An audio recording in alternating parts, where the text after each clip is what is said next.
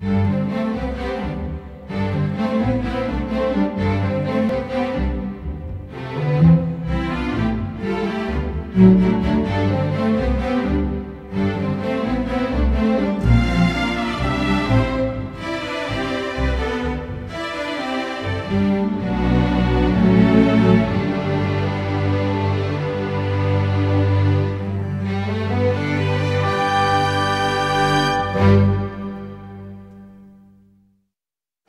asked to talk about revision internal fixation for uh, plafond injuries and whether or not it's worth it. Uh, this is just an example of the impact that we're having to contend with these days that we used to not have to see as much as we do now because of the advent of the airbag. And I think by virtue of that injury occurring because of the axial impaction, we are dealing with a big animal that is sometimes very difficult to overcome. Because when you see an injury of this magnitude, uh, it's really hard to think of anything good about what the outcome will be with respect to this patient. Uh, he presented to us at three and a half weeks, and we'll talk about him at the end. But the point is, when you see this, you realize that uh, when I tell you some of the uh, other factors associated with it, you really wonder if it's worth the effort. Uh, and I have to tell you that I still believe, and I still try to maintain when I talk about this, that I think it's the most challenging orthopedic intervention that we do in terms of uh, reconstruction because of the soft tissue and bony components of it, and then also because of what happens if it fails in terms of uh, the patient's future, especially if they're young. It's a really a, a difficult problem that I'm not sure we really have an answer because when you look at all the salvage options that are available for this injury, uh, they're all a compromise. No matter what we'd like to think, we'd love to think optimistically, but osteotomies, debridements, arthrodesis, or ankle replacements all have a caveat of problems related to uh, when they're done, especially in a younger individual. Uh, this is just a paper from Coester et al. from Iowa demonstrating that uh, if a patient has a good fusion, in other words, a good arthrodesis position, they are essentially routinely presenting later with a phenomenon such as you see here. This is a 30-year-old woman who at age 20 had an ankle arthrodesis, well done, but as you can see at age 30, her primary symptoms are now in her subtalar joint, and what do we do now at age 30? Uh, I was uh, able to see the evolution of Dr. Hansen's use of total ankle arthroplasty as a way of trying to manage uh, arthrosis rather than doing arthrodesis, which he was tired of doing because of what he saw in those secondary phenomena. So he was very, really the pivotal person that really brought this to the forepart. But because he started in 95, uh, we now see what is a result of this. In other words, with outcome data now, when you look at patients that are young, that have a arthroplasty at a young age, they develop this uh, relatively routine polyethylene wear debris that is quite dramatic and it's uh, actually quite scary and it's uh, probably more rapid than when we see in the hip and the knee. So what can we do to address this cascade? Well, we're the pivotal intervention that can hopefully address perhaps this cascade and our index treatment is really pivotal, I think. Uh, and I think despite seeing some daunting challenges, you have to remain optimistic. If you look at the foot position, it really determines the fracture pattern. And the standard plafond injury uh, with an axial load only involves a slight bit of anterior translation or impaction of the front. That's in a neutral foot position. But the complications essentially are that we're seeing now, especially with the high energy injuries, are really related to, as you see here, union uh, as a problem. And usually it's not the articular segment, but the metaphyseal segment, and then late deformity as a result of that. Uh, the other problems are also uh, illustrative with every type of pilon. There's this nihilism that these are bad injuries, the patients are going to do poorly. So my success as a surgeon would be not to become involved and not have any acute complications related to my intervention on this devastating injury. And I would submit to you that uh, as I've tried to do and many of the things that I've uh, been exposed to is to address the reduction and how can I obtain a reduction and maintain it. Uh, this is just one of my mentors, Tom Ruedi, who looked at his results from Chur in a 11-year period, and you see that his difficulties were always with the higher energy injuries, and you look here on the bottom right, the poor reconstructions involving the B3 lesions, which is the injury that uh, really is the posterolateral fragment that's not reduced, and the C3 lesion are the two bugaboos that we continually have problems with. Here's just an example of that. Here's a, looks like a not a very complicated plafond injury. Uh, this is a post-op evaluation, and those of you that are critical can look and see that there's going to be a problem. And we've termed this the OIF. I started seeing the dropping of the R part in our reconstructions, and this is essentially what ends up happening when you have malalignment interarticular hardware and a failure of support of the articular surface. It's a routine progression to arthrosis that you can't really recover from uh, without, unfortunately, a, um, an arthrodesis.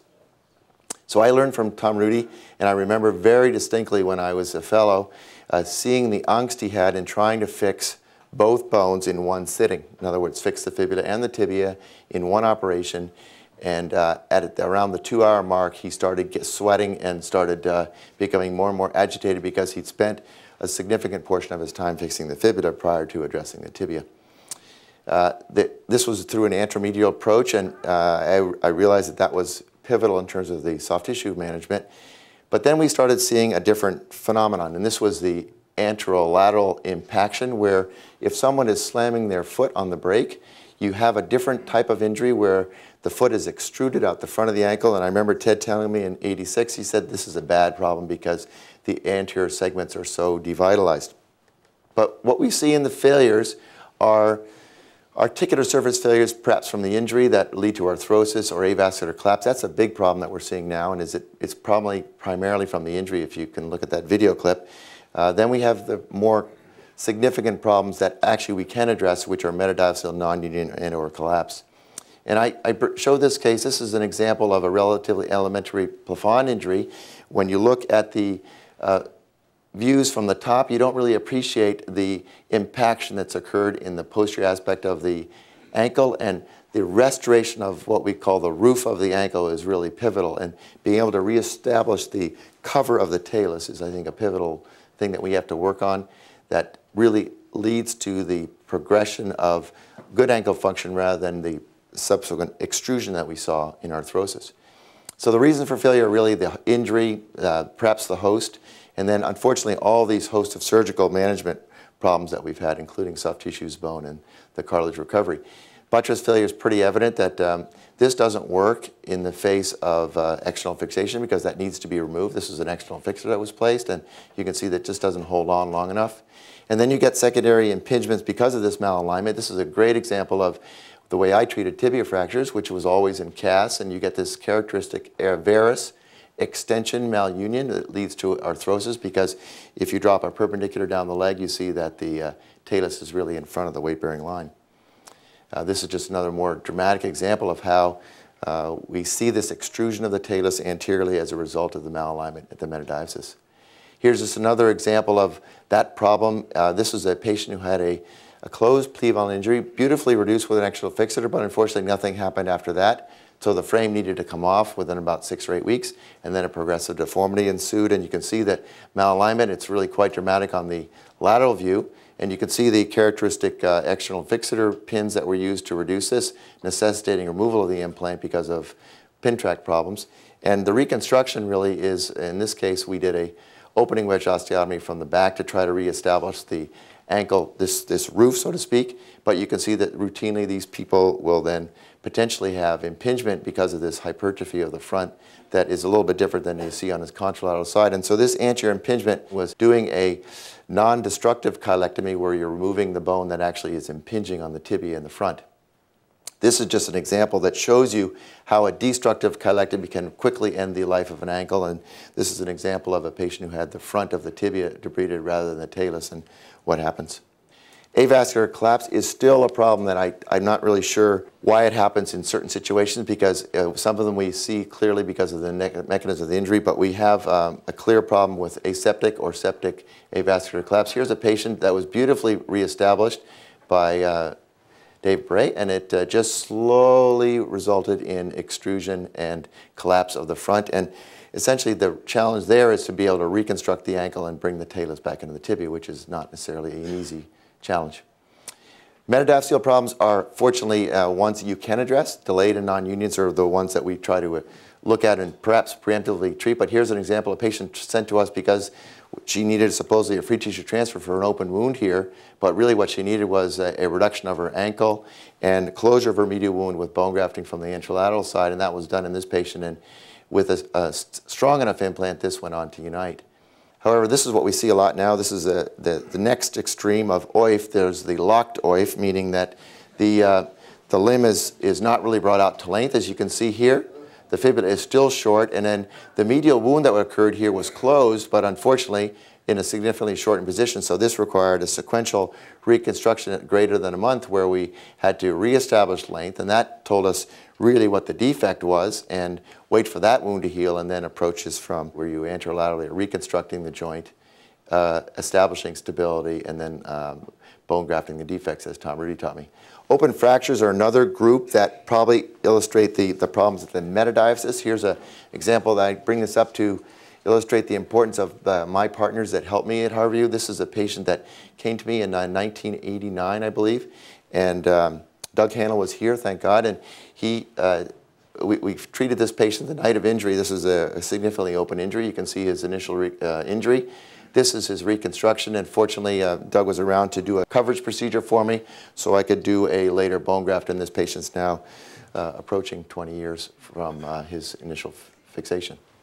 There are some daunting challenges that we get. This is my third airplane crash uh, that where the patient survives, and they also um, have having, are having an MI in their crash. And so this is a patient who got revascularized at the university and then came back over. And Brad and uh, I basically put, started putting everything back together. This is an example of his lower extremity injury. This is a plafond injury, uh, ipsilateral calcaneus fracture, had distal femur fracture, proximal tibia fracture. We put everything back together. Um, he's 65 years old. Uh, we did this uh, safely through an anteromedial approach. Here he is early on.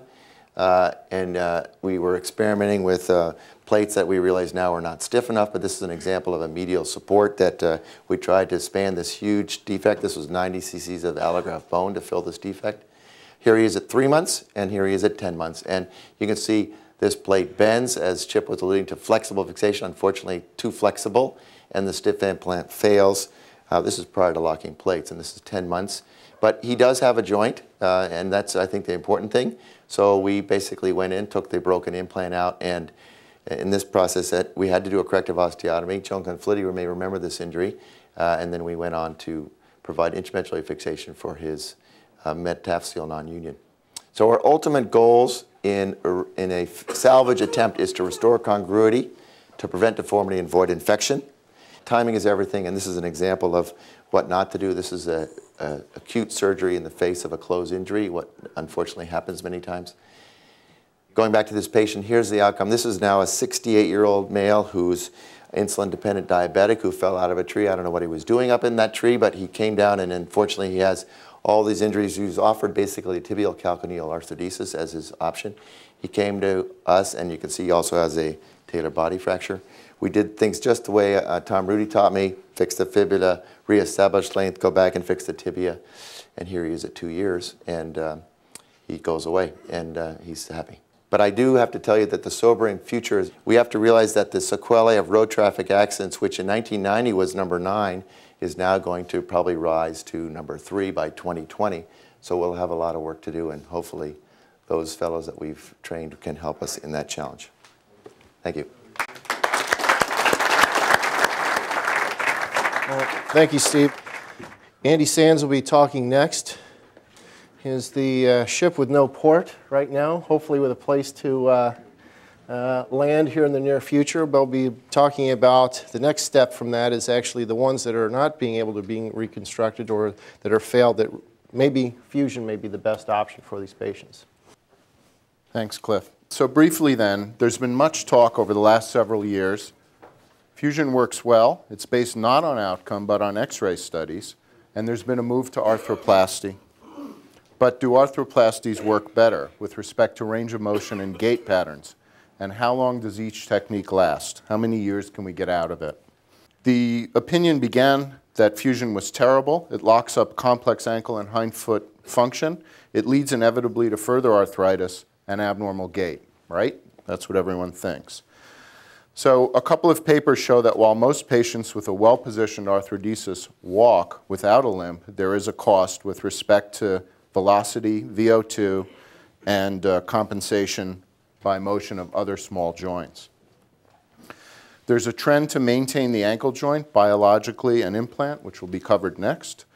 What about distraction arthroplasty? Well, the advantage is it preserves the joint and motion in younger patients. The disadvantage is the frame is not easy for patients to do, and in my opinion, the actual results contradict the published results.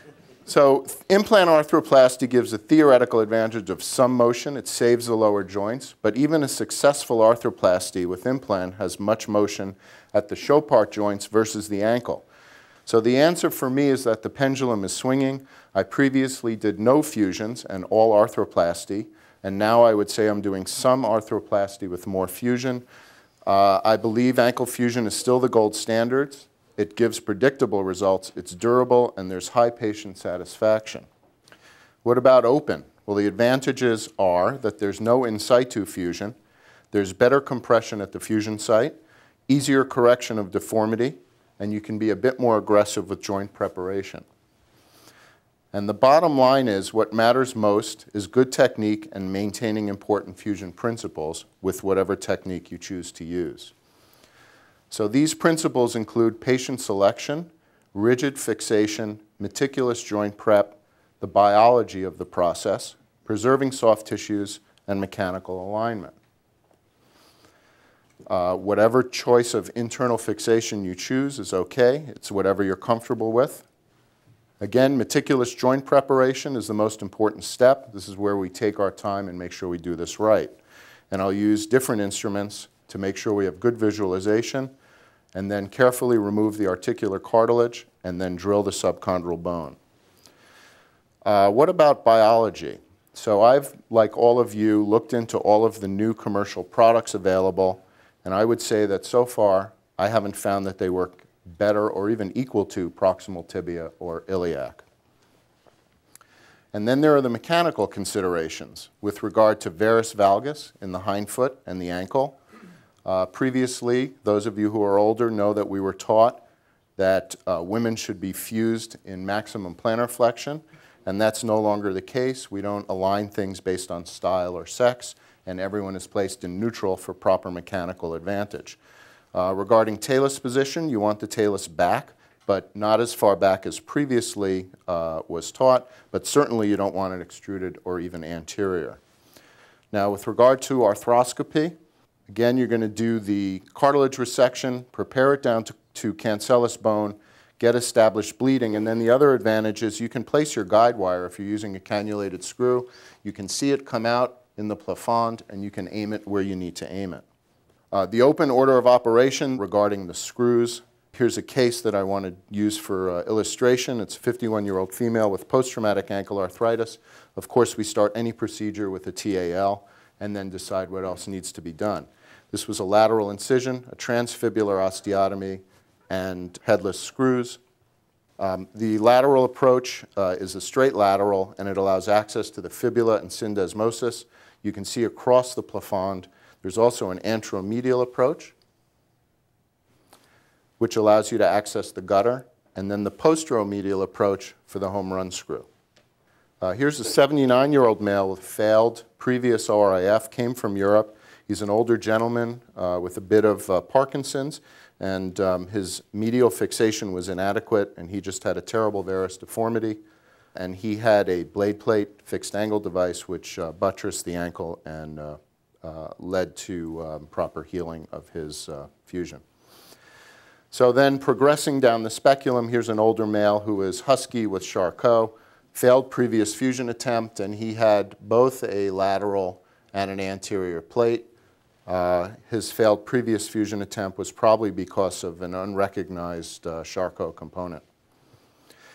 Now, Rene Marti always said that you can get great motion and that the hind foot opens up uh, in the um, Chopart joint and you get compensatory range of motion, often to the point where it's difficult to tell if there's a fusion present. So you can see that after ankle fusion, people uh, can fool you, and it's very deceptive, and they have fairly good plantar flexion and dorsiflexion uh, that many people assume is through the ankle, which we know it isn't because it's fused. And so this is the 79-year-old gentleman. You can see that he doesn't have much arm swing, uh, but he does have a fairly good gait. And this is a younger lady who had arthritis, post-traumatic, and um, I would challenge someone who's casually looking at these without knowing uh, whether the person had an ankle fusion or not. So in summary, uh, for me, treatment of ankle arthritis is evolving, sometimes in reverse. Ankle fusion is an excellent treatment alternative for younger, more active patients. There are many effective fusion techniques. We should think about them and choose the most cost-efficient one whenever possible. Save the fibula when possible to allow conversion to TAR. Uh, the scope helps facilitate later conversion to uh, TAR and should be the technique of choice for routine fusions. And the open technique is now used more for infection cases, Charcot, and very bad deformity and bone loss or salvage cases. Thanks very much.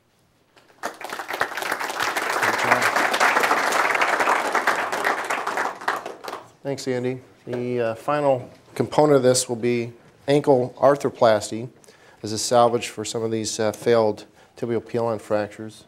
And Dr. Hansen needs no introduction. Thanks very much.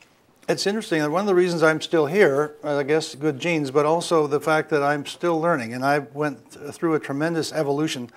First, uh, I thought ankle fusion was a thing to do for arthritis, and uh, I saw a lot of patients with bad ankle fusions, and I thought, well, that's they didn't do them right. So we learned to do them better, get them in the right position, put screws in them, get them to heal solidly very quickly. And um, some of them, just like he showed, did beautifully. They would, uh, they could walk without a limp, and they were. Um, you could send a medical student in to examine their ankle, and they'd come back and say it's normal. And of course, this is because some of you don't know that the, the Germans call the ankles, ankles, uh, the, uh, the upper and lower ankle. They, you can use the lower one, which has both flexion extension and inversion eversion to replace loss of the upper one for a while. The problem is it isn't made to do that. And if you take half of a universal joint and um, begin to use it uh, as your only ankle, it'll be fine for a while, but then depending on where it started, it'll gradually wear out, and then you've got a real problem. Because if you go from there to another fusion and the whole hindfoot and ankle is totally stiff, those patients, some of them do well if they will wear a rocker bottom shoe, which they don't often want to do. But if they will, they'll do fairly well. Others say, I want my leg off. I can't stand this. And we've done amputations for people with pantalar arthrodeses that just cannot stand the stiffness. The um, age group that you'd like to do total joints, whether it's a total ankle, total hip, total knee, is sometime after 60. But when you're around a trauma hospital, they show up sometimes at 30 because they've got post-traumatic arthrosis, which is the most common type. So we have to do sometimes things earlier. It's interesting that, that uh, Rod Beal sent me a 25-year-old one time for a total ankle. And the reason was that she had been bugging him to take her leg off because she had had a talus fracture and she had ankle arthritis and subtalar arthritis. And he also knew that a pantalar wasn't good. So he figured, well, no big deal. If she wants an amputation now, maybe she should have a um, total ankle. So we did that, but we were working with the older equipment. But she's a great example of what can happen because uh, she got then through school, got married, had a baby, and then she came back with it failing, as they always do. They will all fail virtually within about 10 years. And that's the one thing to tell everybody with an ankle problem is that you're gonna, we're going to learn to be friends. Every 10 years, we're going to have another operation of some type. And so uh, then she came back, and by that time, they had improved the things markedly. We have a custom stemmed arthroplasty. We had various other things to do. And we could say, well, okay, now we'll take that out, and we'll put in this new, new uh, technolo technological improvements and you'll be okay to go again. And that's what's happened. But she's getting near the uh, end of that one, and we'll probably have to just do a poly exchange. But the, the, what I wanted to say overall about this is that we do need total ankles, and the trouble is they're not going to be everybody's going to do them. Because you need to do a lot of them because everyone is different in order to um, do them well, and you need to keep watching for the better technology coming along. Uh, but ankle fusion is a great operation if they've got a good subtalar joint and a good midfoot. Uh, and then you just have to convince the patient that they, they'll do well with an ankle fusion. And the points that Andy's already made, uh, if you remind them that the subtalar joint will give them a good ankle for a while, uh, but also that when that one wears out, then you can go back and the thing we do now is take the fusion down, and put in a total ankle. And people don't, a lot of people don't believe that can happen because in the hip and knee that doesn't work. But in the ankle it works beautifully. providing, as again, as Andy's already said, you don't screw up the ankle fusion by taking away vital structures like the deltoid or the fibula or other things that are part of a lot of people's ankle fusion technique is to just get rid of that stuff. You must not do that. You got to leave the, the, the, tissue that you can use later to do the reconstruction. And we've pretty well proven, we also, we also proved that if you do it with a fibula out, they don't work. But if you do it with it in, they do work. And again, I have had to learn to love people, arthroscopists, in spite of what Andy says, because uh, they actually do the kind of fusion that is very easy to take down because they don't take everything away. They just go in and get the fusion, usually in a reasonable position. I don't do arthroscopy still, but I do appreciate the arthroscopists that are doing ankle fusions because they leave us something to work with, which is my major pitch here, is that whether you want to do total ankles or not, if you'd rather do a fusion, which I think is a good operation, leave us something to work with, which is it's, it's, a perfectly good fusion to do it that way, as Andy's already shown the technique, although he's going through the fibula and sometimes squeezing that down. I'd rather you didn't do that. Leave the full width of the uh, syndesmosis, so, and, by, and I go through the front and leave a zipper so we can keep going back every 10 years. And you can do whatever you want to go back and revise them. But the main message is that ankle fusion is the first line of defense if the rest of the joint is okay. Then the next thing is uh, leave all the structures. I mean, do the ankle fusion when the, when the uh, uh, subtalar joint is okay, if that's what they like, and that's much better for the younger patients and the heavy working person and all the rest of it. This is a good example of um, a post-traumatic one. This is an old pilon, um, a 50-year-old dietitian who was about 200 pounds. She had a bad open pilon, and um, when I saw her first in the upper left-hand corner, it had done like a lot of them do. She'd sort of sunk into a little bit of valgus and a not very good union. And so we took out the hardware, as you see over in the middle picture, and put much lighter hardware in that didn't stress shield so much. Brought her back to neutral with an osteotomy, then let that heal. Then we went back in, and all of this through skin graft on the lateral side and so forth, and did a total ankle arthroplasty. And in spite of the fact that she uh, was a bit overweight, otherwise she was an ideal patient.